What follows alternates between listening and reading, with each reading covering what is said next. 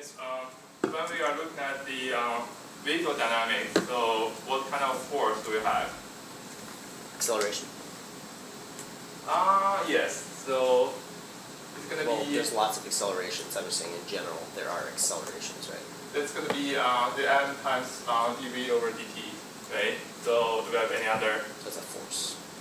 what force? We have plenty of force Just there. write down force.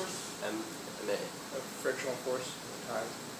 Yeah, the um, tire uh, rolling resistance force is one of them.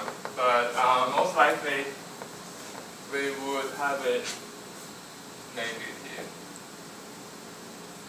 Right? So that's the um, rolling. It, what, what, what's the pressure? Where you will have higher pressure, where you will have lower So pressure. stagnation pressure up the front, where you're hitting the air. Yes, Lower pressure in the back, yes. right? So it's basically your car is being pulled back from the rear and pushed back from the front by the air pressures. So for the air drag force, if we go to the library and the mass, um, to put this to this one, this one.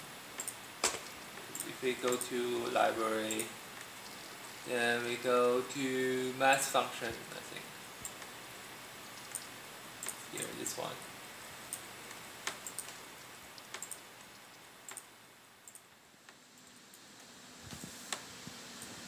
then I, I then I will um, copy another um, go to function block, then change the, the name to EPR. Here also uh, E.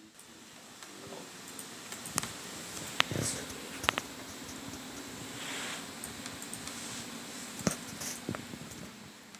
the parameter, the name of the parameter later.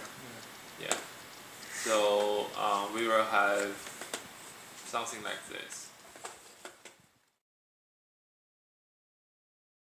The uh, training section, like what it looks like. What's that?